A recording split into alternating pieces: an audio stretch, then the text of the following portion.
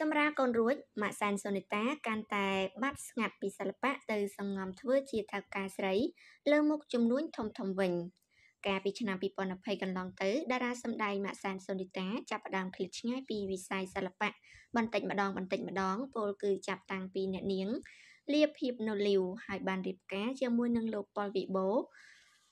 រៀបការតាតាមប្រពៃណីខ្មែរ សាងជីវិតយ៉ាងអាចារ្យគ្រួសារយ៉ាងពេញលេញដោយមកដល់ពេលនេះចំណងស្នេហ៍ចាសំណងអាពីពិពារបស់អ្នកទាំងពីរទទួលបានកាដូកូនប្រុសពីរនាក់ហើយចាប់តាំងពីរៀបការខ្លាចជាភរិយានិងម្ដាយរបស់កូនកូនម៉ាក់សានសូនីតាកាន់តែឃ្លាតឆ្ងាយពីវិស័យសម្ដែងផ្សេងផ្សេងដោយនាងលេចមុខចូលរួមតែក្នុងកម្មវិធីជួបជុំអ្នកសិល្បៈប៉ុណ្ណោះដោយអ្នកនាង ដោយយកពេលវេលាភាគច្រើនផ្ដោតលើការមើលថែគ្រួសារ ជាពិសេសគឺមុខជំនួញដែលកំពុងមានស្អិចស្កះក្នុងដៃ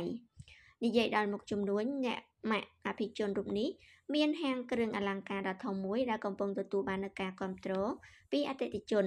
ក្រៅពីចាស់ជាថៅកែស្រីហាងគ្រឿងអលង្ការតូតាក៏មានហាងកាហ្វេដ៏ធំមួយដែរហើយថ្មីថ្មីនេះម៉ាក់សានសុនីតាក៏កំពុងមមាញឹកខ្លាំងទៅលើការមើលថែផ្ទះសំណាក់មួយកន្លែងដែលស្ថិតនៅកោះស្ដេច ជារឿយៗគេឃើញតារាស្រីរូបនេះថតបង្ហោះចាសំទោសថតបង្ហាញពីទេសភាពដ៏ស្រស់ត្រកាលមានទីធ្លាធំល្វឹងល្វើយជាប់ទឹកសមុទ្រ